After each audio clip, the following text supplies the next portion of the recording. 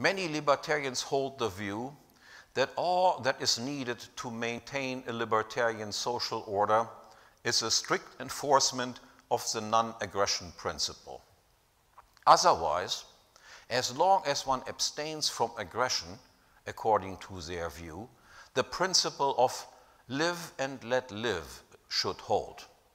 Yet surely, while this live and let live sounds appealing to adolescents in rebellion against parental authority and all social convention and control, and I should add, many youngsters have initially been attracted to libertarianism, believing that this live and let live is all that libertarianism has to offer.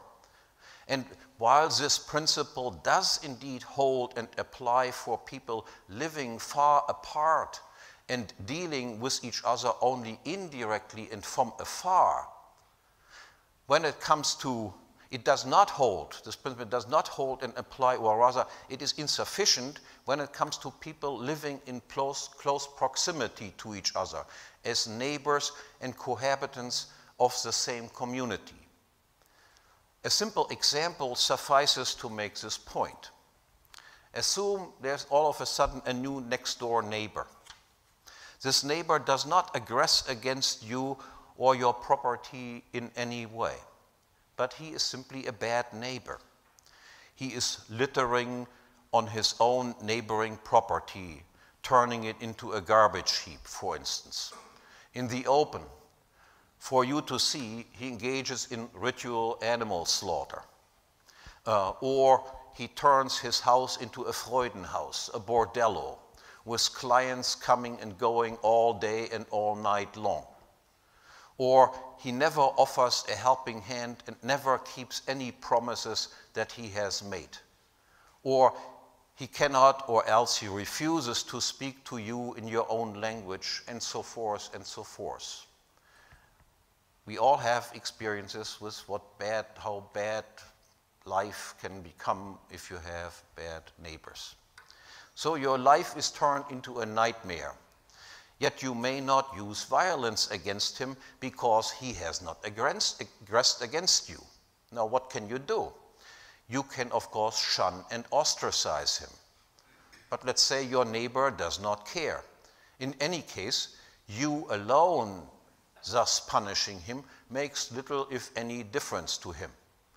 You have to have the communal respect and authority, or you must turn to someone who does have this com communal authority um, to persuade and convince everyone, or at least most of the members of your community, to do likewise and make the bad neighbor a social outcast so as to exert enough pressure on him to sell his property and leave. Now, so much for those libertarians who, in addition to their live and let live motto, also hail the ideal of uh, respect no authority, respect no hierarchy, respect no person above you. Now, the lesson the peaceful cohabitation of neighbors and of people in regular direct contact with each other on some territory, that is, a tranquil, convivial social order, requires also a commonality of culture, of language, religion, custom, and convention. There can be peaceful coexistence of different cultures on distant, physically separated territories but multiculturalism, cultur cultural heterogeneity, cannot exist in one and the same place and territory without leading to diminishing social trust, increased tension, and ultimately the call for a strong man and the destruction of anything resembling a libertarian social order.